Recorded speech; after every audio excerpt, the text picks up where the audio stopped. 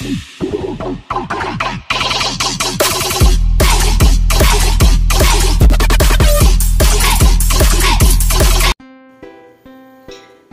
mga ka-tuner! Ayun, magandang magandang gabi po sa lahat.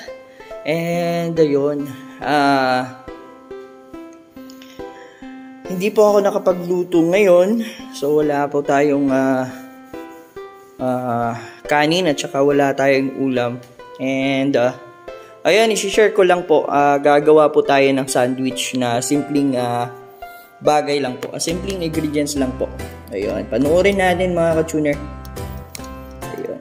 Gagawa tayo ng sandwich for dinner.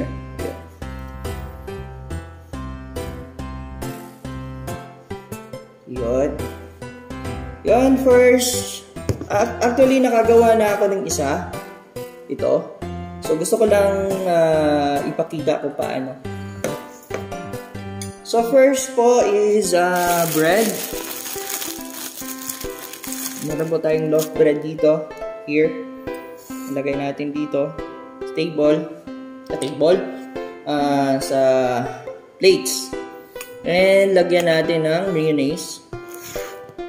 Here. Mayonnaise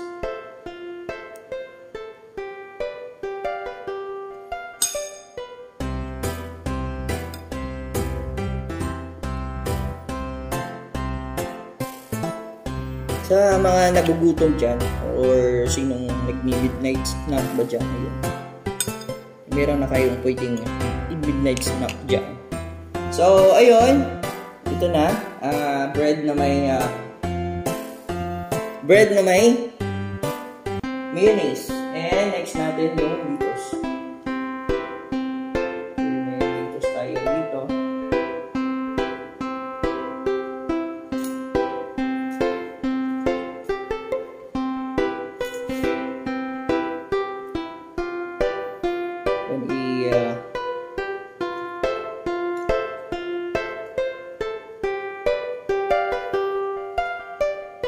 siguraduhin nyo lang po na nakahugas po ng mabuti.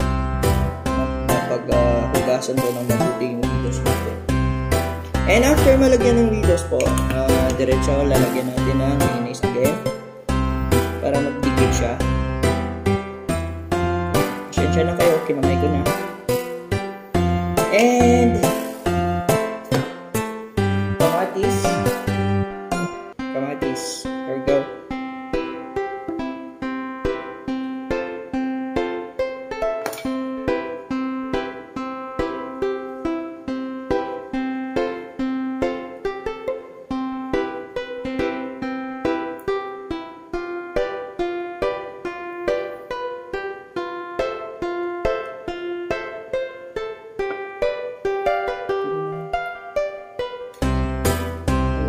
kamatis is bread.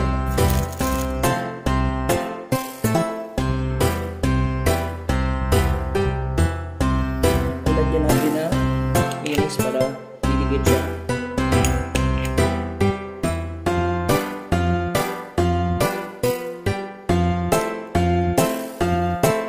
Here. Tapos, next, mayonnaise na naman sa taas. Hindi naman masyadong madaming mayonnaise. Panti lang.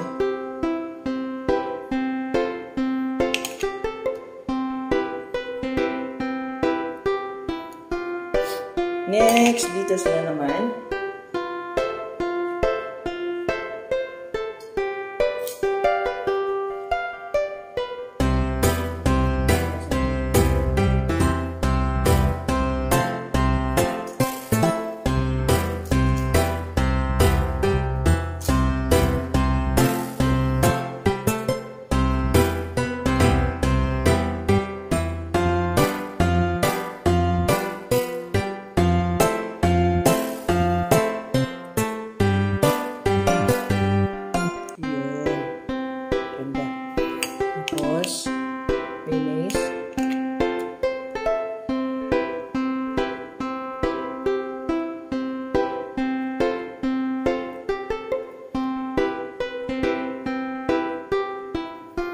Tsaka yung egg natin. Egg.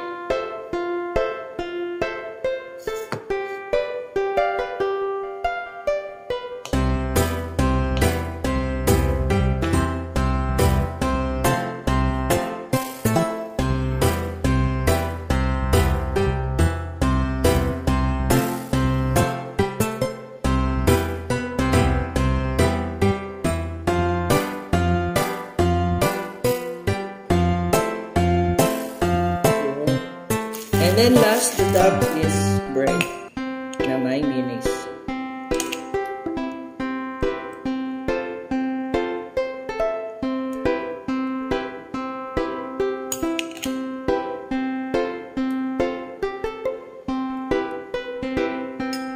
Here we go! Ayun, okay na yung dinner natin mga ka-tutor. Tingnan nyo. Tingnan ang sarap! Ito na.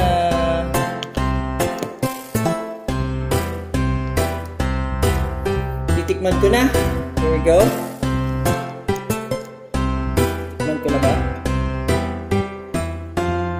Laki, grabe. Hmm. Tikman natin. Here we go.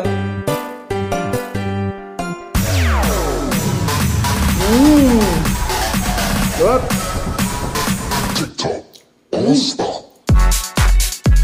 Baba. So ayun mga katuner. Kung nagugutom kayo ngayon, o gusto nyo mag-millions ka, ito simple-simple lang. May mayonnaise lang kayo, may loaf lang kayo, at saka itong gulay na to. And egg, kamatis, yun lang. Diba? So ayun, yan lang.